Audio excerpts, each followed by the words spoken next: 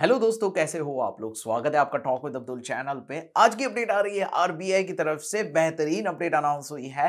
Freshers बिल्कुल apply कर सकते हैं। परमानेंट सरकारी नौकरी है। लेटेस्ट जॉब वैकेंसी है। वीडियो को एंड तक देखना, सारी चीज़ें बताऊँगा। कैसे अप्लाई करना है? प्रोसेस क्या है? सब कुछ इसी वीडियो में देखेंगे। तो आइए इसी के साथ आज की इस वीडियो को शुरू करते हैं।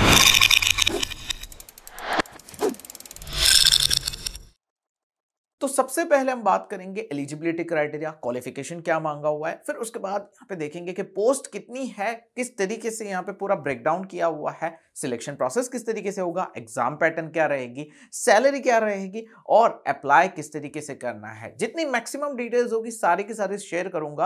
तो बस आपसे एक ही रिक्वेस्ट है, इस वीडियो के अंदर एंड तक बने रहिए ताकि सब कुछ आपको समझ में आए। कहाँ जाके अप्लाई करना है, सब कुछ आपको मैं गाइड कर दूँगा। वैसे एक छोटे से रिक्वेस्ट और भी है कि वीडियो को लाइक कर दीजिए ताकि कोई भी अपडेट आपसे मिस ना हो। अब देखते हैं, सबसे पहले पोस्ट कौन सी है? जैसे कि हम नोटिफिकेशन ओपन करते हैं असिस्टेंट की पोस्ट है रिज़र्व बैंक के अंदर और इन्होंने जो है यहाँ पे बताया हुआ है कि भाई आपने अगर ग्रेजुएशन कंप्लीट कर लिया है, चाहे किसी भी फ़ील्ड से आप अप्लाई कर सकते हो। जी हाँ बिल्कुल आपने सही सुना। मैं आपको और डिटेल्स दे दूँगा कि परसेंटेज वगैरह क्या मांगे। लेकिन सबसे पहले यहाँ पे जैसे ओपन करते ना इंपॉर्टेंट डेट्स आती है।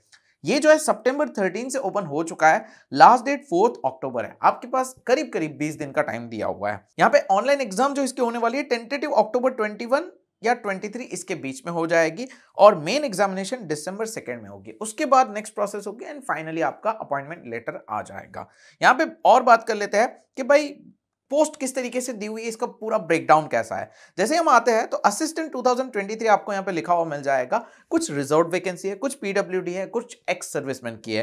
यहाँ पे अलग अलग लोकेशन पे अलग अलग वैकेंसी है। सबसे ज़्यादा अगर मैं देख पा रहा हूँ ना 101 वैकेंसी मुंबई के अंदर आई हुई है। ऑब्वियसली आरबीआई मुंबई बेस्ड है तो वहाँ पर ज़्यादा वैकेंसी है। लेकिन और भी स्टेट्स में अच्छी खासी वैकेंसी आप देख पा रहे होंगे। बेंगलुरु के अंदर फिफ्टी वैकेंसी है न्यू दिल्ली के अंदर ट्वेंटी वैकेंसी है। फिर यहाँ पे चेन्नई के अंदर या गुवाहाटी के अंदर ट्वेंटी है चेन्नई में थर्टीन है। इस तरीके से अलग अलग जगह पे यहाँ पे वैकेंसी है और टोटल हम निकालते हैं तो 450 वैकेंसीज टोटल आई हुई है। नेक्स्ट आते हैं एज लिमिट पे। 20 से 28 इयर्स की एज लिमिट है, कोई इशू नहीं आने वाला है, आप यहाँ पे देख सकते हो एज ऑन फ़र्स्ट सितंबर 2023 एंड क्वालिफिकेशन जैसा कि मैंने बताया, कोई भी ग्रेजुएट एलिजिबल है तो एज ऑन फ़र्स्ट सितंबर आपका बैचलर्स डिग्री कंप्लीट हो गया होना चाहिए, चाहे किसी भी फ़ील्ड से, और फिफ्टी परसेंटेज मिनिमम मार्क्स इन्होंने मांगे हुए हैं। अगर आपके पास है, बिल्कुल अप्लाई कर सकते हो, कोई इशू नहीं आएगा। और यहाँ पे एक और कंडीशन ऐड की है कि मान लो आप गुजरात से अप्लाई कर रहे हो तो आपको वहाँ की लोकल लैंग्वेज पढ़ना लिखना समझना और बोलना आनी चाहिए। You should be able to read write speak and understand the language of the state आप जहाँ से भी अप्लाई कर रहे हो। खास करके ध्यान रखना मत या फिर आप जहाँ पे जाना चाहते हो। सो so, इस चीज़ का खास ध्यान रखना अप्लाई करने से पहले। नेक्स्ट परसेंटेज का कैलकुलेट कैसे किया हुआ है? भाई 60 परसेंटेज का मतलब होता है 6.75 सीजीपीए 50 परसेंटेज का होता है 5.75 सीजीपीए तो ये खास ध्यान रखना काफ़ी कंफ्यूजन रहता है।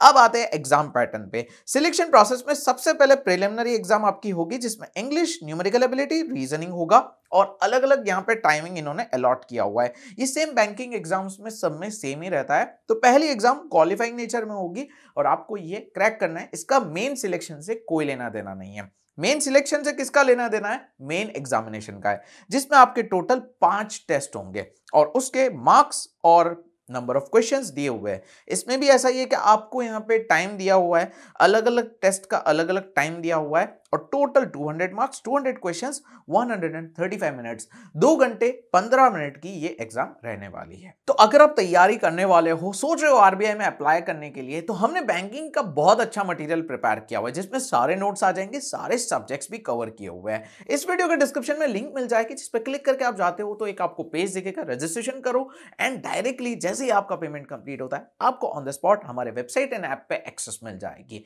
अब यहाँ पे आपके लिए कुछ स्पेशल ऑफ़र है तो लिंक मैंने बायो में दी हुई है। खास हमारी फैमिली के लिए स्पेशल डिस्काउंट है जो जाके चेक कर लीजिए। बहुत अफोर्डेबल रखा है और बहुत बढ़िया मटेरियल है।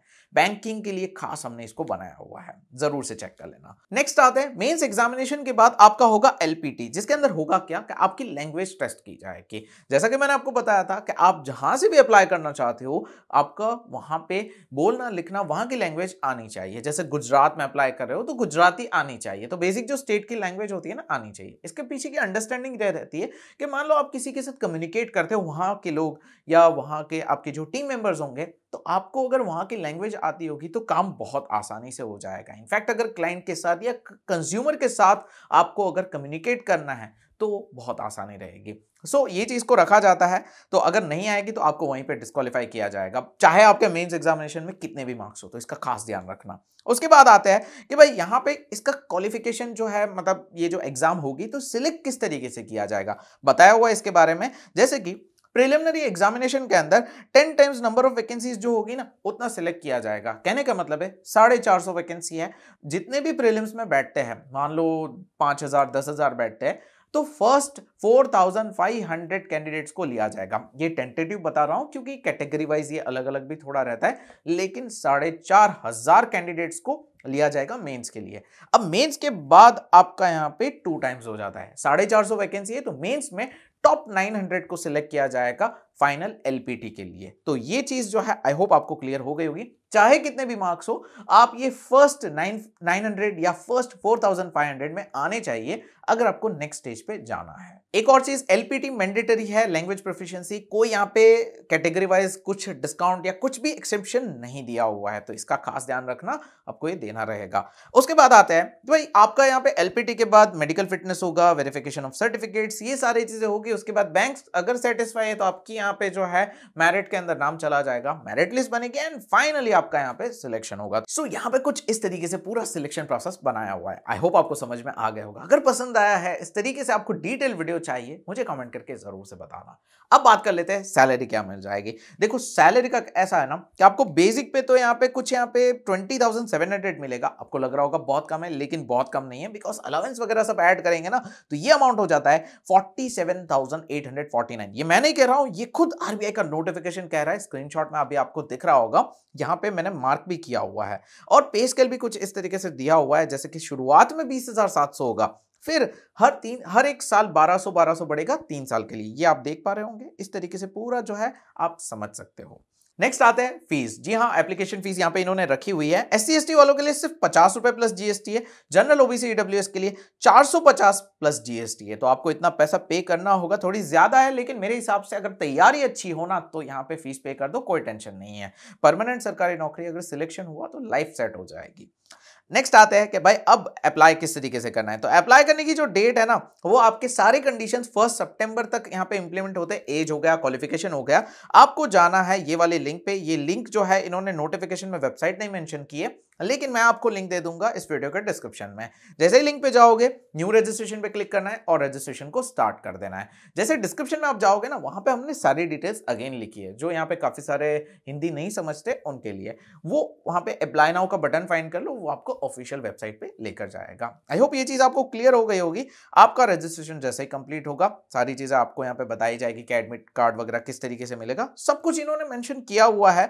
आप यहाँ पे इनको कॉन्टेक्ट भी कर सकते हो। जवाब वगैरह मिल जाएगा। आरबीआई की ऑफिशियल वेबसाइट पे जाके ही आपको अप्लाई करना है। कौन सी सिटी के लिए कौन सी लैंग्वेज आनी चाहिए ये भी इन्होंने बताया हुआ है जैसे अहमदाबाद के लिए गुजराती है इस तरीके से हर एक सिटी के लिए इन्होंने लैंग्वेज मेंशन की है। हैदराबाद में अगर पोस्टिंग चाहिए तो तेलुगु आनी चाहिए। सो so, ऐसे यहाँ पे आपको लैंग्वेज आनी चाहिए। मेरे हिसाब से जयपुर ले सकते हो हिंदी सबको आती है। न्यू दिल्ली में हिंदी है पटना में भी हिंदी है। हिंदी यहाँ पे मोस्टली कॉमन रहता है जम्मू में भी हिंदी है फिर इस तरीके से चंडीगढ़ में भी हिंदी है भोपाल में भी हिंदी है। भाई ये कॉमन लैंग्वेज है आप इतने जगहों पर अप्लाई कर सकते हो आराम से सिलेक्शन हो जाएगा। एग्ज़ाम पैटर्न की बात करें तो एग्ज़ाम पैटर्न प्रिलिमिनरी के और मेन्स के दिए हुए है। पेज नंबर जो है, मैं अगर आपको बताऊँ 28 नंबर के पेज नंबर पे दिया हुआ है। आप ऑफिशियल नोटिफिकेशन में देख सकते हो। ये सारे सेंटर्स है गुजरात के अंदर, बहुत सारे हैं। मैं आपको लग रहा हूँ गुजरात गुजरात क्यों करता हूँ? मैं गुजरात से बिलोंग करता हूँ। तो मैं देखता हूँ कि एक स्टेट के हिसाब से कितने सिटीज़ होने चाहिए, कितने इन्होंने दिए हुए हैं। तो काफ़ी अच्छे खासे सिटीज़ ऐड किए हुए हैं। और इससे आइडिया आ जाता है कि स्टेट के हिसाब से जो है प्रॉपर है या नहीं। तो काफ़ी अच्छा नंबर है आपके लोकेशन के नियर बाय कोई ना कोई सेंटर आराम से आपको मिल जाएगा। सो so, ये थी पूरी अपडेट आरबीआई की तरफ़ से। डिस्क्रिप्शन में मैंने लिंक दिया है साथ ही साथ नोट्स की भी लिंक दी हुई है आप ज़रूर से चेक कर लेना। अगर वीडियो पसंद आई और भी वीडियोस चाहिए तो सब्सक्राइब करके बेल आइकन प्रेस कर दीजिए ताकि कोई भी अपडेट मिस ना हो। दैट्स इट फॉर टुडे मिलते हैं नेक्स्ट वीडियो में नेक्स्ट जॉब अपडेट में। तब तक के लिए गुड बाय टेक केयर